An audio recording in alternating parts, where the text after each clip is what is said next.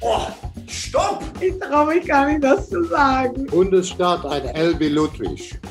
Ich habe alle. Mein lieber Mann. Ich muss lachen. Orgasmusproblem.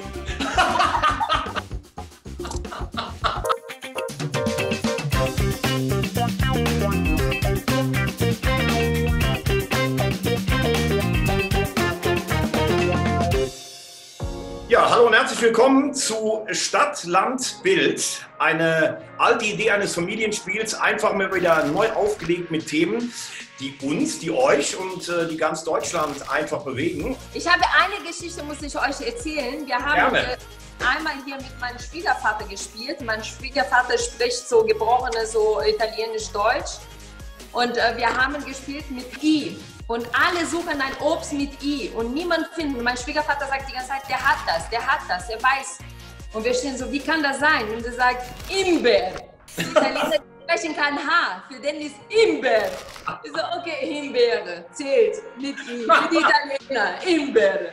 Janaina, ich kann dir dazu sagen, ich habe das mit Thomas schon öfter gespielt und da war er auch immer der Spieleleiter. Wenn du äh, nicht lächelst, gibt er den jungen Damen auch manchmal einen Extrapunkt dafür. Das ist ein guter Tipp, also das, das vergesse ich nicht, glaub mir. Und Kadi, da muss ich ganz ehrlich sagen, du siehst fantastisch aus.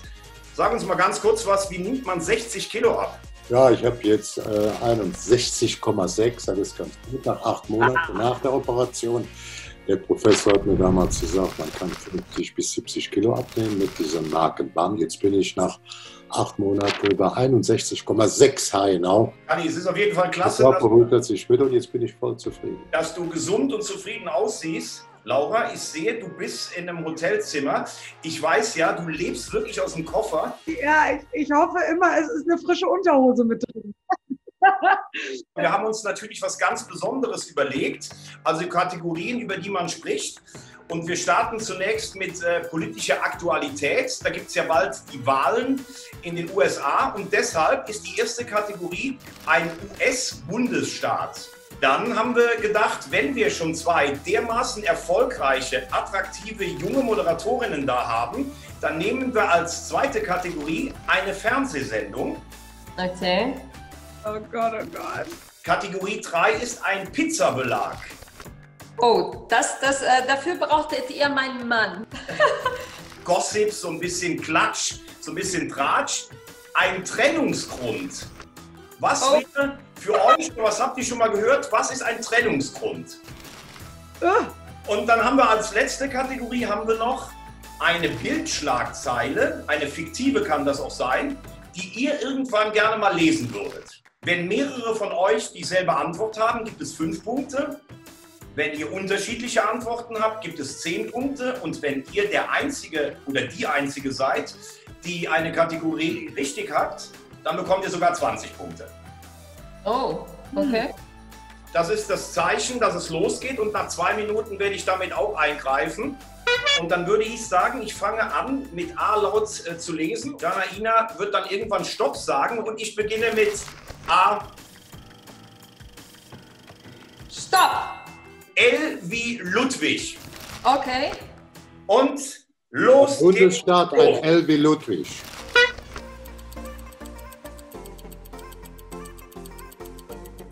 Läuft die Zeit. mal.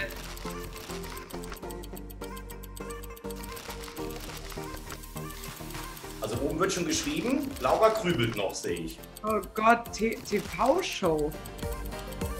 Ja. Also da bin ich auch großzügig, Laura. Das kann eine Serie sein, das kann eine Unterhaltungsshow sein. Aber es muss ja mit L anfangen, oder? Ja, Stopp! Oh, stopp! Ich habe alle. Mein lieber Mann, Nein, okay. mein lieber Mann, ey, das ist wirklich, aber das ist aber wirklich ein Knaller. Janaina, jetzt. sag ehrlich, deine ganze Familie sitzt da im Hintergrund. Janaina, dann beginnst du jetzt. Was hast du denn jetzt für einen US-Bundesstaat? Louisiana. Habe ich auch. ich würde Luciana nehmen, nicht lang. Ja, aber du musst es aufschreiben, äh, Kali, du musst es aufschreiben. Ach so. So, also da haben wir einen fulminanten Auftrag hingelegt. Was für eine Fernsehsendung hast du? Jana, Love Island! Die beste, die schönste, die spannendste, die spektakulärste Kuppelshow der Welt. Love Island! Der Enkel von, äh, von unserem ehemaligen Finanzminister Stoltenberg, äh, der war irgendwie der absolute Frauenliebling. Hast du das verstanden? Henrik war schon ziemlich sehr lustig. Der war ehrlich, der war sich selbst und der hat so einfach Sprüche rübergebracht, die eine TV-Sendung braucht. Die Leute wollen Unterhaltung haben und er hat alle unterhalten. Bon Schlonzo. Total verschnitzelt, ey. Versahnt den Spaß, ey. Habe ich das schön gesagt? Madame Aurelia. Äh, buongiorno à tout le monde, was ist denn hier los, ne? Kommt noch dazu, dass er so schon ziemlich bereit war zu flirten und zum, zum Lieben auf der Insel. Also, wenn, du Single, wenn du Single wärst, wäre, wäre ein Typ für dich gewesen? Ach, nee. Nee, ich bin seit 16 Jahren glücklich, also ich denke auch nicht mal so darüber nach. Kali, was hast du für eine Fernsehsendung? Ich würde Lego Masters nehmen. Ja, ich habe aufgeschrieben, aber es zählt dann ja wahrscheinlich auch nicht. Nur die Liebe zählt. Doch, das, doch, doch, doch. Das ja. wird, weil die Liebe und das, das starke Wort L, da kriegt ihr natürlich alle zehn Punkte. Das würde ich schon durchgehen lassen. Sehr gut. Ja. So, dann sind wir beim Pizzabelag. Ja, Leerdamer, Käse. Sehr gut. Ja, saugut. Ich habe das, die, die, das einzige Lebensmittel, was mir mit L eingefallen ist, war Litchi. oh. Ich esse das sehr gerne auf meiner Pizza, muss ich sagen. Sehr, sehr gut. Und Kali? Ja, ich muss ja auch sagen, ähm, ich habe auch der Lauch, aber mit schönem Käse, weichem Käse, Lauch da drin. Und dann noch, schade doch nichts, wenn da drunter noch ein bisschen Salami liegt. Dann, dann guter kalte Pizzateig, dann schmeckt das fantastisch. Toll. Also bisher haben alle geliefert. Äh, Janaina, jetzt bin ich mal gespannt. Trennungsgrund. Laute Liebestelefonat mit anderen. Lügen habe ich. Ja. Laura, was würdest du machen, wenn du merken würdest, ähm, dass, ähm, ja, jetzt konkret, dass Zolli dich belügt, wenn du es rausbekommen würdest? Ja, kommt drauf an, ob das eine Notlüge ist oder, oder eine Lüge, die schon ordentlich viel in Schwanken bringen könnte. Gut. Und Kali, was ist bei dir? Doppel-L. Liebe, Lüge, Lüge, Liebe.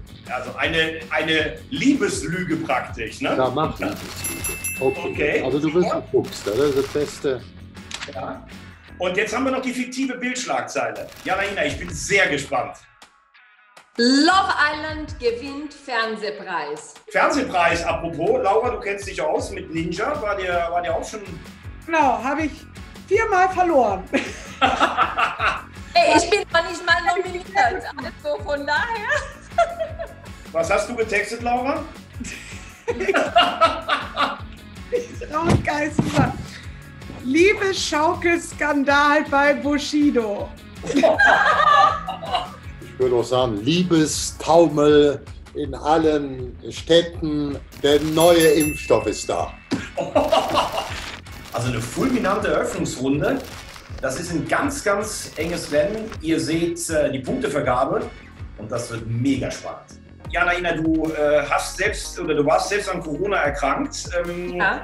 Wie blickst du mittlerweile auf diese Krankheit, so im Rückblick, die uns natürlich dennoch noch alle beschäftigt? Als ich gesehen habe, dass ich positiv getestet wurde, das ist schon ein Schock, weil ich bin immer mit Maske unterwegs, teilweise bin ich mit Handschuhen geflogen, also ich bin sowas von vorsichtig und auf einmal wirst du trotzdem positiv getestet. In meinem Fall zum Glück ohne Symptome, mir ging es gut die ganze Zeit, aber es ist, geht nicht jedem so, deswegen bleibe ich nach wie vor vorsichtig. Ich bin schon sehr, sehr dankbar und froh, in einem so geordneten und gesitteten Land äh, zu sein, wo ich das Gefühl habe, dass fast alle Leute diese, diese Krankheit, diesen Virus sehr ernst nehmen, Respekt davor haben, auch äh, Respekt äh, Risikogruppen gegenüber haben und fühle mich da eigentlich hier in Deutschland gerade sehr, sehr gut aufgehoben. Kali, was sagst du zur Diskussion ähm, Fußballspiele mit Zuschauern? Ja, ich glaube, Zuschauer, Fans hören zum Fußballspiel dazu. Bei aller Fußballbegeisterung, die Gesundheit geht vor, das müssen wir wissen. Und dann muss man etwas sagen, nachdem die, die Bundesliga mit Seifer das so hervorragend gemacht hat, vier Wochen vorher haben alle uns nachgehalten. Du darfst nicht vergessen, in so einem normalen Jahr, die Bundesliga wird nicht unterstützt mit Geld. Und wenn die dann noch so ein Ding da aus dem Hut zaubern und alle, auch die Amis mit ihren großen Sport, die Engländer, die UEFA sagen, oh, super, Schluss aus, Trödel. Ich habe ein bisschen Angst um deinen Schreibtisch. euer Leben durch Impfstoff. Aber ein eindrucksvolles Statement für, für den Fußball in der Bundesliga und in Deutschland. Ähm, die Zeit läuft natürlich ein bisschen. Wir brauchen den nächsten Buchstaben. Und äh, Kali, noch mal ganz kurz der Hinweis, bitte dann schreiben. Ja, ja. Ne? Genau, alles gut, war ja alles richtig. Und, genau, wollte ich nur noch mal darauf hinweisen. Also, Laura, ich starte mit A.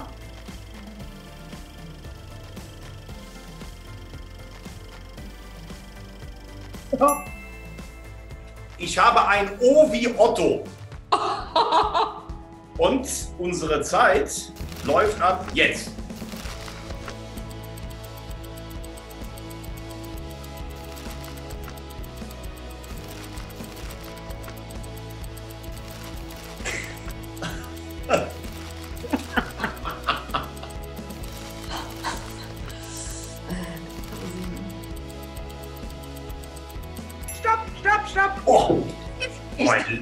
Lieber Mann. Unter einer Minute. Das ist ja richtig stark, was ihr hier abliefert. Stopp, stopp, stopp, nicht mehr schreiben. Stopp, stopp, stopp. Nee, nee, ich hab's schon gesehen. so, wie sieht's denn eigentlich aus auf euren Zetteln? Vielleicht könnt ihr die mal ganz kurz äh, so hier hochhalten, damit ich das mal kontrollieren kann. Also Laura hat alles voll. Warte, ich habe zwei Zettel. Ich habe auch. Ja, okay, okay, alles klar. Ich wollte das nur mal kurz überprüfen und äh, Laura beginnt. Ein US-Bundesstaat. Ohio. Kali, was hast du für einen Bundesstaat? Auch bei Ohio, das hat einen besonderen Grund. Wir hatten da mal eine Partnerschaft mit Bayer Leverkusen, die haben original unser Stadion neu gebaut. Ohio ist ein guter Standort. Und äh, was hat Jana Ina? Auch Ohio. Laura, was ist äh, bei dir eine Fernsehsendung mit O? Ich habe schon gesehen, dass Janaina das gleiche hat. OC California. Hab ich auch auch immer geguckt. Auch. Ich schließe mich den beiden Damen an, das sind absolute Fernsehkönige, die kennen oder Königinnen, die kennen sich da aus, die machen selber tolles Fernsehen, sind tolle Frauen und wenn die sagen, das ist die schönste Sendung, mit O musst du sowieso lange überlegen, dann sage ich, das ist auch meine aber, aber Kali, wenn die ich, sind, dann sage ich, ich schließe mich dem an. Kali, Kali, kannst du uns mal gerade den Zettel nur trotzdem zeigen? Ich sehe da immer irgendwie, ich habe so das Gefühl, du hast doch mit einem Ghostwriter bei dir im Hotel. Okay, Hast du gesehen? ich habe es gesehen. Genau, bei TV habe ich jetzt nichts gesehen, aber also zumindest nichts mit O. Aber ich habe auf jeden Fall Ohio gesehen. Ähm, so, was ist mit Pizzabelag? Ja, Oregon, habe ich doch gerade schon gesagt. Ach so, ja, Entschuldigung. Entschuldigung, ja. Okay, und Janaina, was hast du? Öl. Öl. Das ist richtig. Olivenöl. Und dann, Laura, wie sieht's bei dir aus mit Trennungsgrund? Da muss Laura immer lachen. Ich traue mich gar nicht, das zu sagen. Sag mal bitte. Oh Gott, bitte verzeiht mir. Ich habe geschrieben, Orgasmusproblem. Ich laufe so krass rot an gerade. Äh, würdest, du, würdest du denn in dem Falle, äh, oder hast du, wenn du das mal erlebt hast, du bist ja glücklich verheiratet, hättest du das denn angesprochen? Oder, ich meine, das ist ja auch ein heikles Thema dann. Darüber möchte ich nicht reden. Das ist schon schlimm genug, dass er das aufgeschrieben hat. Janaina, wie sieht's bei dir aus? Ich habe Ohrfeige geschrieben. Laura, verzeih mir, der Beste war von dir. Orgasmusproblem. Was, hat, was hattest du denn jetzt dem Zettel drauf ich habe selber entdeckt, das ist von dir. Ich folge dir. Ja, genau, fang mal an bei der, äh, bei der Bildschlagzeile. So. Oh, super. Neuer Impfstoff ist da. Der zählt. Ohne Corona durch den EM-Sommer. Laura, du ähm, machst ja die Länderspiele, du moderierst hier bei RTL. Hat unsere, hat unsere Nationalmannschaft eine Chance, nächster Europameister zu werden? Puh, das ist äh, schwierig. Ich finde, man kann sowas aktuell gar nicht sagen, weil wir ja nicht wissen, äh, wie dann die Trainingsbedingungen und die Kaderzusammenstellung aussieht, ob wir Corona äh, noch haben, ob, äh, ob alle mittrainieren können und so. Deswegen kann ich das gar nicht sagen. Oder auch Nationalspieler, die dann wieder aus anderen Ländern und nicht Deutschland zu uns kommen müssten, um die Vorbereitung zu machen. Schwierig, schwierig. Okay. Und äh, Jana Ina, was hast du als Schlagzeile? Oh Gott, schon wieder Trump. Oh Gott, schon wieder Trump, okay. Ähm, ist, ist das für dich im Moment so die absolute Horrorvorstellung, wenn du auch so ein bisschen auf die Welt schaust? Ich meine, in Brasilien habt ihr auch einen sehr umstrittenen Präsidenten mit Bolsonaro. Richtig, das ist das Problem. Also solange wir äh, solche Menschen äh, in der Macht haben, werden wir ein großes Problem haben. Also ich finde Trump, Bolsonaro und Erdogan, also das sind alle leider nicht genau die, die ich äh, wählen würde. Wir können alle nur hoffen, äh, dass Janainas Schlagzeile nicht Wahrheit wird. Ja. Auch in Amerika kenne ich mich sehr gut aus. Ich kenne Jan Trump persönlich. Ich werde den schon besuchen. Er war damals vor seiner Sendung Apprentice und ich habe hier Big Boss. Das waren von zwei großen Fernsehsendern. Da gab es ein Treffen auch mit den Frauen und so. Da war ich schon mal beide. Da wurde er noch halbwegs manierlich. Aber ich kenne mich da sehr aus, interessiere mich dafür, auch für den Wahlkampf. Ich verfolge das. Ich bin mit vielem, was er gemacht hat, was er erklärt, seine Auffassungen effektiv nicht einverstanden. Das muss ich so deutlich sagen. Definitiv. So, das heißt, es ist ein ganz, ganz enges Rennen. Wir gehen mit äh, fünf Punkten Abstand in die letzte Runde. Gali, sag uns noch was. Ich habe ein Video von dir gesehen. Ja. Sag uns, du bist was unter die Schlagersänger gegangen. Ein paar Kalorien sind mir doch verziehen, denn man lebt nur einmal. Voll fett. Da kamen aus Bamberg drei Musiker, das waren die Dorfrocker. Und haben mir gesagt, Mensch, Galli, könntest du nicht für uns mal was mit in einem Song machen? Hab das dann zugesagt. Und dann habe ich gesagt, ja, was hältst du dann davon? Dann habe ich gesagt, voll fett ist am besten. Kurz und knapp. Und so haben wir das Ding gedreht. Februar, März, dann kam Corona. Die wollten das für ihre Oktoberfestsaison und jetzt waren sie vor zwei, drei Wochen, waren sie da beim Fernsehgarten, haben mich angerufen, ja Kalli, was machen wir jetzt? Jetzt bist du ja so schmal. Da ich komme nochmal nach St. Louis, da haben wir den Schluss gedreht. Selber Handzug, selber Hemd, selbe Krawatte. Leck mir am Arsch. Wo ist das Fett? Das Fett ist voll weg. Sehr gut. Und ähm, ich zähle dann nochmal und Kalli sagt dann einfach Stopp. Ich beginne mit einem A. Top. G habe ich. G wie Gustav. Oh.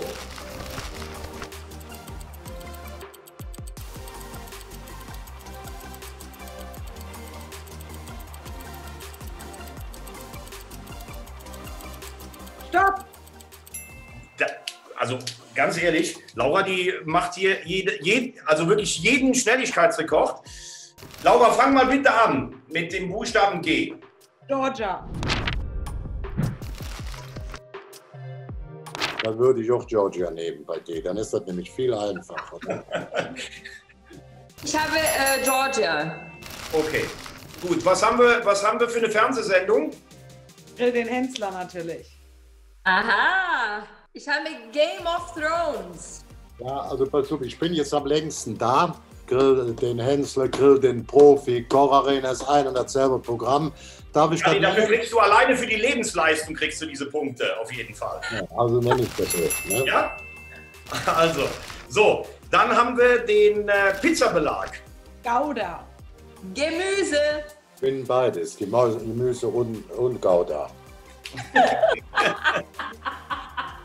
so, und ich habe so ein bisschen das Gefühl, ähm, dass äh, Kali sich hier Punkte erschleichen möchte. Was haben wir für einen Trennungsgrund, Laura? Gewalt. Ich habe Größe. Ich habe Geistesgestörte geschrieben. Ja. Ja. würde, ich, würde ich auch auf jeden Fall würde ich das gelten lassen. Und was haben wir noch als äh, Bildschlagzeile? Grill den Hensler läuft jeden Tag. Gut so. Trump verliert Wahl. Geile Meldung aus Germany. Impfstoff ist da. Jawohl. Also ich sehe schon Trump und die, äh, die Impfstoffe oder die Corona, die Pandemie und äh, die hoffentliche Bekämpfung sind das große äh, Thema. Also ich muss ganz ehrlich sagen, wir haben in keinem Durchgang länger als eine Minute gebraucht. Tippitoppi, hat richtig Spaß gemacht. Okay, die Punktevergabe. Das ist ein mega enges Höschen, ein Kopf-an-Kopf-Rennen bei den beiden Mädels. Okay, ich bin bereit. hier zu Hause zu spielen mit der Familie. Ich mache die alle fertig. Ja, vielen Dank. Ich muss ganz ehrlich sagen, es hat riesen Spaß gemacht. Ich sage äh, ein ganz großes Dankeschön an Rainer Karlmund. Ich danke ganz herzlich an Jana Ina. Es war mir ein ganz, ganz großes äh, Vergnügen. Danke. Und immer wieder aufs neue Vergnügen, mit Laura zusammenzuarbeiten. Also, ich habe es sehr genossen mit euch. Ich wünsche euch einen schönen Abend und äh, ja, bleibt vor allen Dingen gesund in der Zeit. Dankeschön. Bald. Ciao.